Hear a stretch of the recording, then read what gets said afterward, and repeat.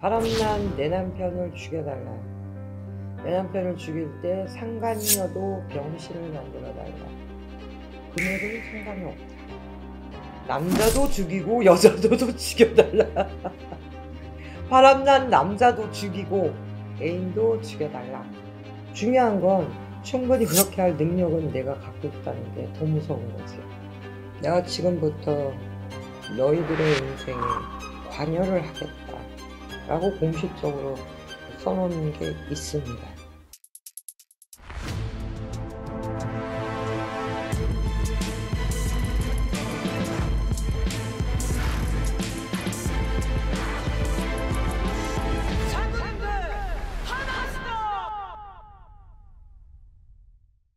안녕하세요.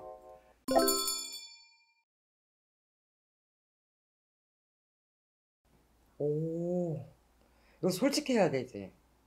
그러니까 어떤 종류가 있냐면, 그러니까 이건 스탠다드야. 그리고 굉장히 애틋하고 애절해. 그 중에 하나가 떠나간 남자를 돌려주세요. 그게 굉장히 많아요. 그러니까 나를 버리고 떠난 남친이 연락만 와도 좋다. 카톡이라도 오게 해달라. 뭐 이런 거는 이쁜 거야. 네, 이건 기본. 그다음에 두 번째는 음, 내 바람난 남친의 여자를 죽여주세요. 이거 되게 섬찟하지. 남친은 아무리 돌아봐도 돌아올 기미조차 없는 거야. 그러니까 그냥 이 여자를 죽여달라. 금액은 상관이 없다. 그 다음에 또 세 번째는 남자도 죽이고 여자도 죽여달라. 바람난 남자도 죽이고 새, 새로 생긴 애인 애인도 죽여달라. 그리고 뭐 이거는 이제 처녀 총각이 의뢰를 하는 거면 진짜 지금부터 살벌한 거 바람난 내 남편을 죽여달라. 내 남편을 죽일 때 상간녀도 병신을 만들어 달라. 뭐 이제 유산 때문에 뭐 남편, 시어머니, 시아주머니, 형님 그냥 싸그리 다 죽여달라. 아니면 가정을 파괴해달라. 유부남을 사랑한 여자가 봄마눌라를 띄워달라. 내가 그자를 찾아야겠다. 어, 인간의 상식을 벗어난 여러 가지 것들이 상당히 많았어요.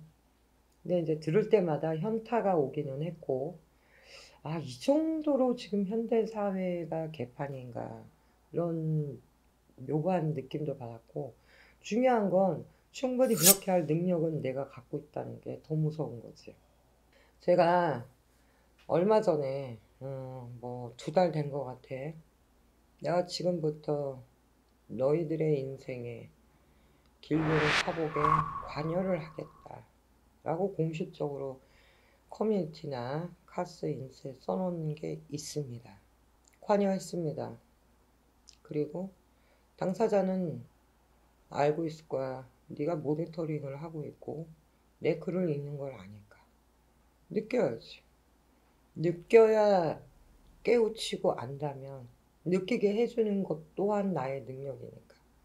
근데 여러분 여기서 되게 중요한 게 있어요. 고통을 받는 것 때문에 상대방한테도 똑같은 고통을 주고 싶은 거 그건 인간적으로 당연한 겁니다. 어, 제자인 나도 그러는데 수련을 안 한 일반인들은 더 많은 고통을 더 치를 떨고 이를 갈고 저주를 하겠죠. 근데 한편으론 이 모든 인연법의 시작은 전생입니다. 그러니까 그 전생을 알고 그 전생에 서로의 빚을 갚아 나가는 현세의 삶을 좀 성숙한 자아로 받아들이고 어, 인연법을 이해하고 나를 성숙하게 만드는 그것이 제일 나의 빚을 탕감할 수 있는 좋은 기회가 아닌가.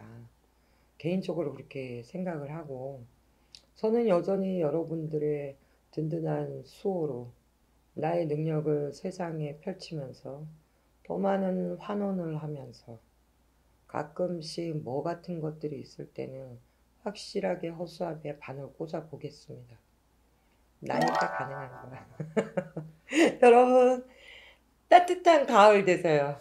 사랑합니다.